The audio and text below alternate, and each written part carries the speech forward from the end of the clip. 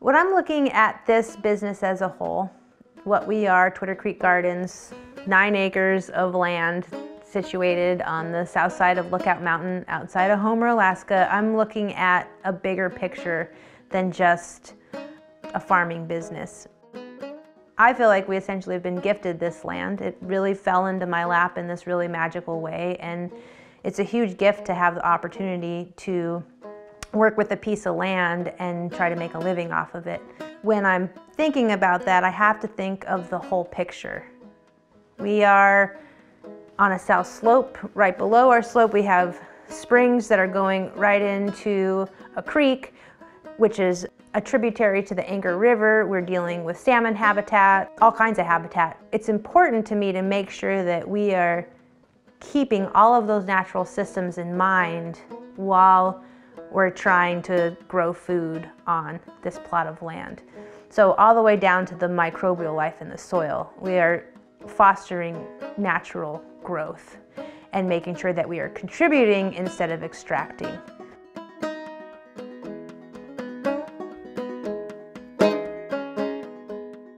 We call ourselves a biointensive market garden and the term biointensive is referring to high yields in a small amount of space.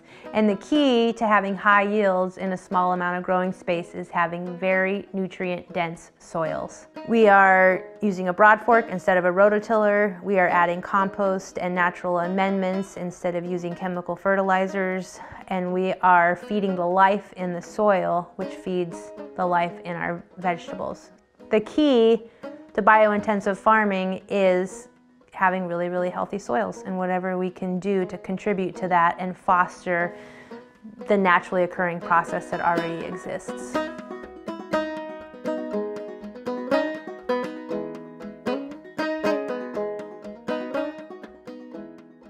I grew up in a nice little neighborhood right outside Fairbanks behind the college, rolling hills and beautiful dirt roads not so much farming. We had a yard and we had a little garden out back occasionally, but my neighbor had one and I remember what it was like to go down there and try carrots straight out of the ground and pick peas right off the vine and what that flavor was like.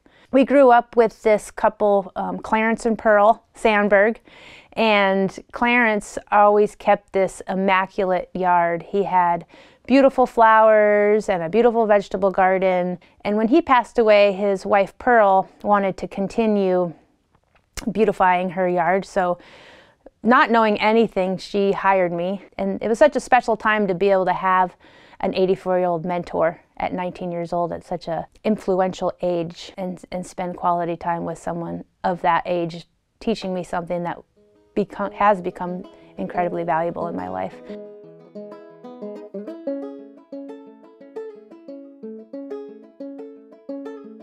But I had this dream of living in Homer and living on the water and being able to harvest my own seafood. And, you know, being landlocked, born and raised in Fairbanks, there was just a real draw to live near the ocean for many reasons, but definitely one of them was, was being able to wild harvest my own seafood. I came to Homer with $50 in my pocket, you know, 24 years old and a truck and a dog. Kind of did the school of hard knocks and was like, well, I want a farm. So I had I have really generous friends that have a beautiful bench lot here in Homer. I put a thousand square foot garden in their front yard and sold four CSA shares and went to my first farmer's market with maybe five bundles of herbs and this like umbrella and a tiny little table. And it's like, this is, this is how I'm gonna start. Very naive, very romanticized vision, but was able to find land finally after two years of searching up here on Lookout Mountain, the south side of Lookout Mountain. Then I came here and stuck a spade in the soil and pulled it out. And in my hand there was 40 earthworms in just the blackest most beautiful soil that looked like chocolate cake batter. And and there's these fresh springs running through and on this south sloping field. And and I just was like I could I can farm this I can totally farm this. The next spring, I put in maybe a quarter acre of garden. and sold eight CSA shares and went to the farmer's market with five bundles of herbs and a couple heads of broccoli and just kind of started my way. We had to build everything literally from the ground up. And I, and I think that's another aspect of being a last frontier farmer that isn't always considered when researching examples of other farmers. There's so much farmland out there, especially in this country, that a lot of beginning farmers can walk into infrastructure that's already in place. So that's also something that I didn't consider how I needed a, house. You need a greenhouse. You need really to extend seasons, you need high tunnels. You need to develop the water source. You need a, if you're gonna have plumbing, you need a septic system. Uh, you need water drainage. That was 2005, it's 2021, so I'm 16 years into this project. And just now I feel like the infrastructure's in place. And it took all of that time and all of that investment with many different loan sources to be able to accomplish that. So we've only turned a profit really in the last three years, where anything that we made outside, you know, from the farm has had always gone back into infrastructure. It's just taken a lot of time, but I feel really fortunate that we're in that place now. And that I can look back on this history that I've had on this land and how many people that it's taken to build it to what it is. There's so many people that have come here, helped on this project, believed in it enough to dedicate their time to it, and then they've stayed. They're really valuable members of our community. There has been a huge community of people that have helped grow this farm from the ground to where it is now. To a point now where we're like, only paid employees, we work eight to five, we always take Sundays off. Everybody gets, you know, a three-day weekend a month and a five-day vacation in the middle of the season, and and it's just been a real progression, a real slow progression of where we started to where we are now, and that has taken a lot of people that were willing to work for $500 a month, you know, and, and live and work here and, and have that communal living and dedicated somehow to this project that I kind of had this like vision of and this dream of. And I'd share it, and people would be like, Yeah, I want to do that. And I'd be like, Awesome, let's do it.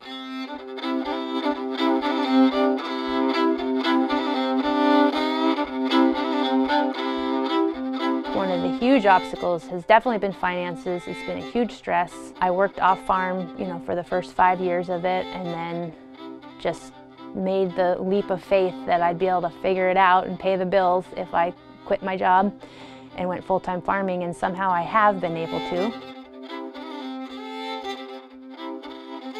One of the hurdles I think of farming this specific land is that it sits on a slope and most farming tools or tractor implements or tractors even are made for flatland farmers and that you know, again, like how much flat land is in Alaska. You're gonna find it in Fairbanks and you're gonna find it in Mat-Su.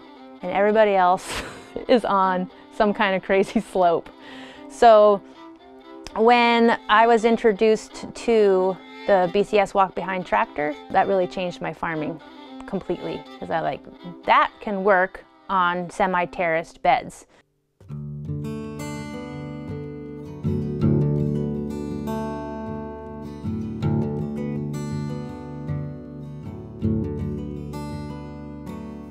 My understanding of what a market garden is, is a small scale farm, usually under five acres, and selling commercially. So making a living off of a plot of land, five acres or under, and Jean-Martin Fortier in the Market Garden book that he wrote describes it really well. And his whole basis is how to be efficient, what tools to use, and how to make a living on under five acres. And our farm here is just under two acres.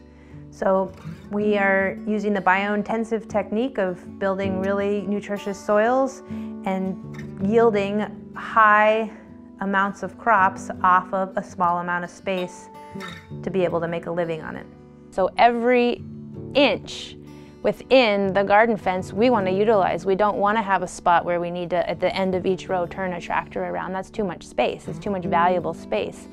And then there's all of these new tools that are being made specifically for exactly what we're doing, a small scale farm, 30 inch beds, Every single one of our beds in the outdoor garden is 80 feet long because that's what works with our fence line. So all of our remay's is 80 feet long, foot long. All of our irrigation tape is 80 foot long. And all of these tools that we've been able to purchase are made to work 30 inch wide beds. So when I transform the farm to like really a willy-nilly, like there's a 40 foot bed that fits over here and a 50 foot bed over here and you need to leave that remay there and that remay there, there's like everything standardized period. And we're going to build our farm to work with the tools that are coming out. And it's just like profitability, efficiency, the availability to actually make a living out of it, like changed in a year.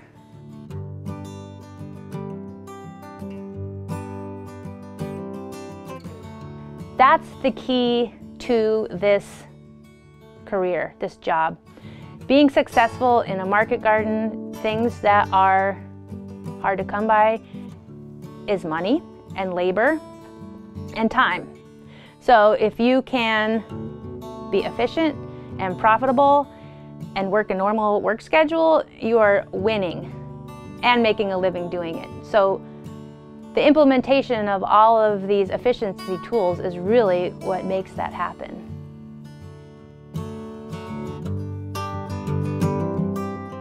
percentage-wise, we're probably one of the most food insecure states in the United States. 95% of the food that is consumed in the state of Alaska is imported. If those supply chains get cut off, which we've seen, you know, some of that happen with the pandemic, that there's going to be a major food shortage here. We're rich. Alaska is really rich in wild harvest, wild game, freshwater and saltwater fish, those kind of wild harvested foods, not everybody has the skills to do that. The majority of people in the state of Alaska, like anywhere else, are going to the grocery store to buy their sustenance. So we have a major food security issue in the state. And what I'm seeing is Homer becoming one of these agricultural hubs.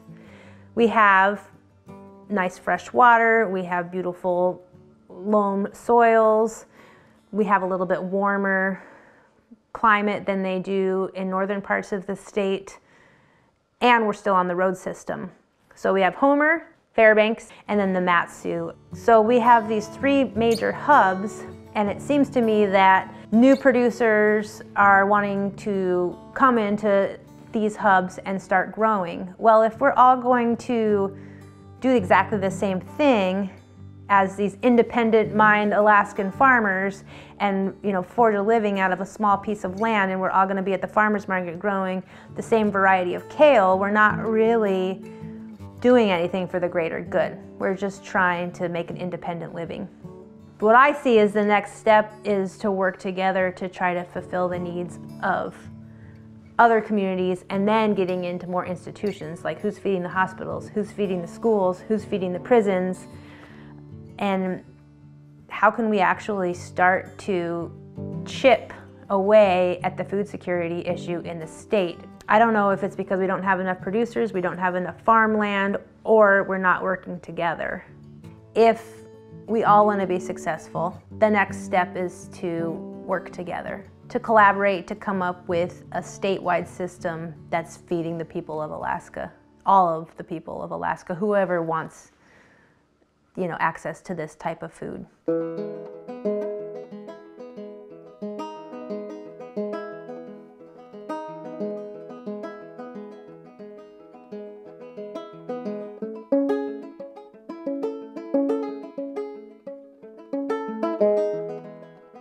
Something that snagged at me, I would say, for the majority of my farming career is the question, are we growing food for the upper class population?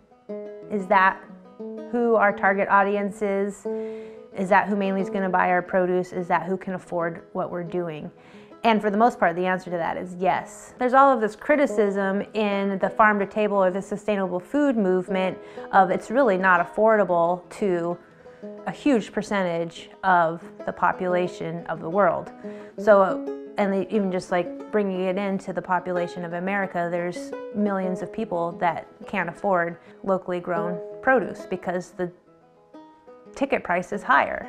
So it's a big question. I don't know how to close the equity gap. I things that we do is we we have a community fund set up where we allow our CSA members and, and other members of the community to donate into our community fund and then that fund goes out to provide CSA shares to our women's shelter, to our food pantry, and subsidizes shares for lower income families. But that's a really tiny piece of the solution.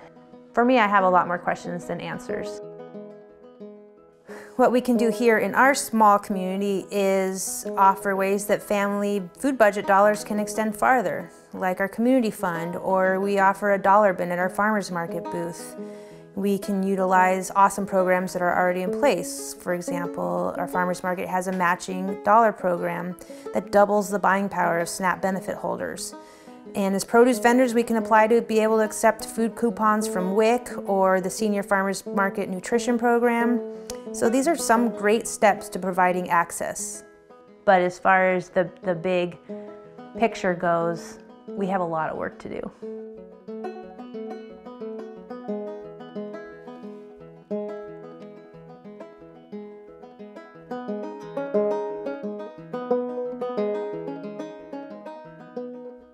A living on a market garden is something that's possible.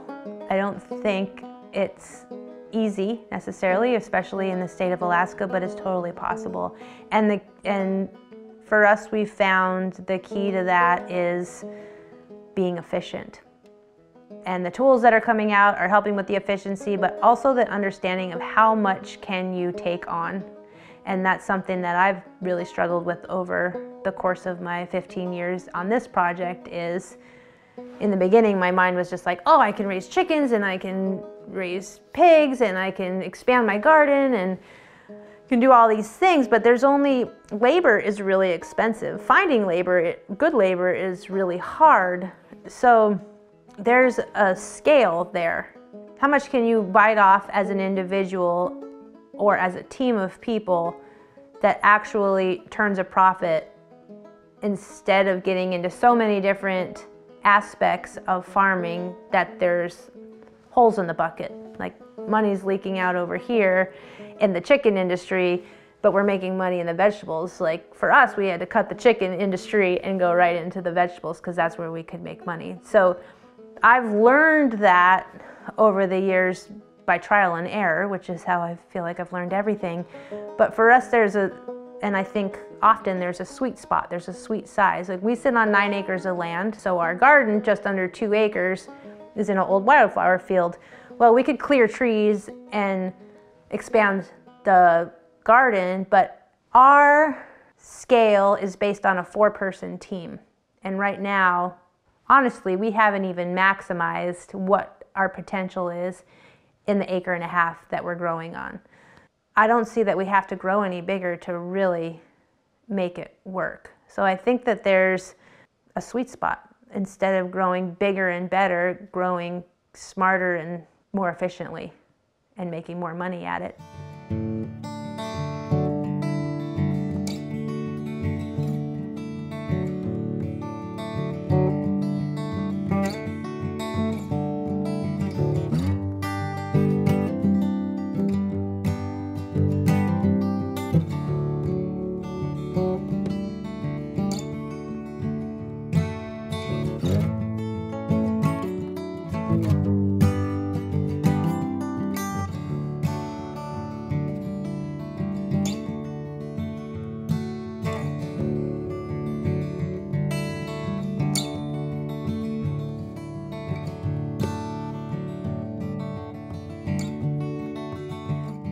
I often think about that question, why do we keep doing what we're doing? For me, it was a deep-rooted drive to work with the earth and grow food. And I think when contemplating that question for myself, I often have that question for other people, why do they keep, do, keep doing it, especially if they're not able to pay their bills and they need to seek off farm jobs. Why do they keep doing it? For me, I've asked myself that question many times and not always landing on a really direct answer, but it's the fascination that happens every single year. I think from taking a tiny seed, you know, that fits just in a pinprick of your hand and growing a 10 pound cabbage out of it, that fascination has never gone away. And hearing feedback from our customers about how delicious the vegetables are that we're producing and how much it adds to their life and to their meals and their family's nutrition, that keeps the motivation going. And on the good days when you're out there harvesting, you know, successfully 100 pounds of salad greens and we're listening to music and the sun's shining and everything's going really smoothly, those are the times that just keep keep me going. And I think something that's maybe unique about farming is that I don't know that I'll ever master it. It's something that I learn from every single year.